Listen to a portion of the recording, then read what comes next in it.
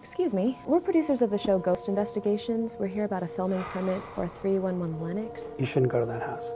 It's creepy. Like creepy, like but the music plays, even though the power's been turned off, lights are turning on and off, that sort of thing. You know, like people being chopped up in itsy bitsy pieces and, and reassembled on the wall in the shape of a cross. Kind of creepy. Have a good film shoot.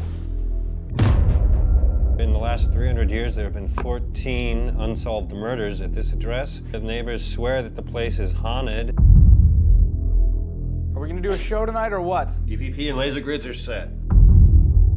We've set up motion sensors and cameras in every room. We've got night vision for later, uh, laser grids, and thermal And everything is linked back to the video village. We like to call it Central Command. We can capture anything that happens.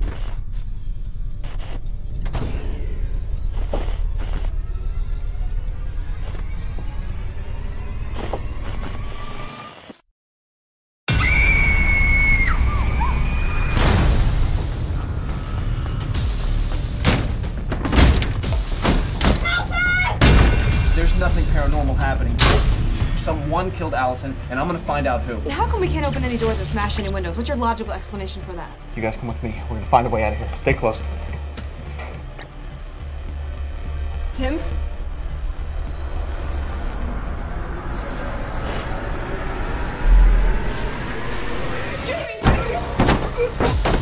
What do you want from us? We're being systematically killed off.